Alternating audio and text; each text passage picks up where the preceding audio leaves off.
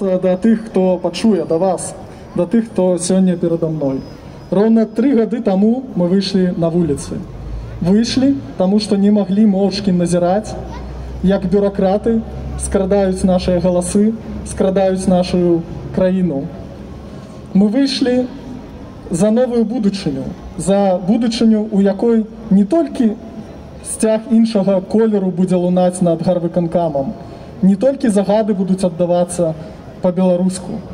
А за краіну у якой кожны зможа выказацца кожны зможа быць пачутым. І галоўнае непасрэдна удзельнічаць у развіцці сваёй краіны і будаваць будучыню. Будучыню якія тры якую тры гады таму а яшчэ даўней напэўна у нас скралі разам з краінай. Скрай скраў узурпатар які намаляваў сабе адсоткі нейкія у паперах які правёў самакаранацыю нібыта выканаў фармальнасці і скраў краіну. І э, гэта мне ведаеце што нагадвае э, такая узурпацыя.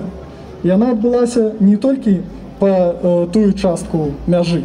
Гэта мне нагадвае напрыклад сітуацыю з беларускім моладзевым хабам дзе таксама прыйшоў чалавек з паперамі нейкі узурпатар і ён аказаўся нібыта больш значны чым грамадскасць мы не павінны такога дазваляць мы павінны пільнаваць захаванне дэмакратыі а тым часам бюракратыя працягвае панаваць у беларусі там працягваюць збірацца прызначэнцы якіх ніхто не абіраў праводзіць свае усе беларускія сходы і вызначаць за ўсіх лёс краіны ведаеце дарэчы гэта таксама мне нешта нагадвае бо на мінулым тыдні ў варшаве таксама прайшлі некалькі сходаў прызначэнцамі якіх не абіралі.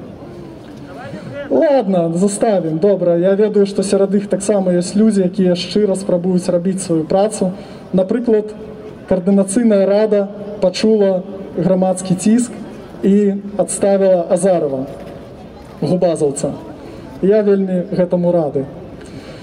Але пытанне насамрэч не да іх не да гэтых уладаў. Я ўжо падкрэслю што звяртаюся не да іх а да вас і пытанне ў тым ці будзем мы просто моўчкі назіраць як нехта нейкія важныя дзядзькі за нас усё вырашаюць. Ці мы ўсё ж таки захаваем голас ці мы навучымся быць самастойнымі дзейнічаць непасрэдна.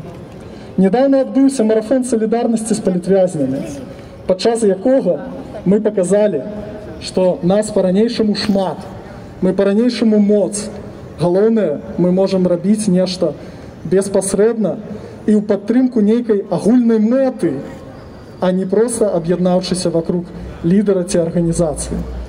Мэта гэта тое, што нас аб'ядноўвае.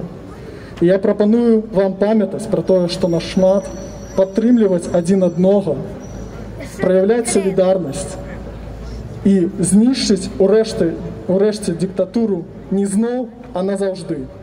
Мы разам нас многа за нами перамога. Мы разам! Let's move.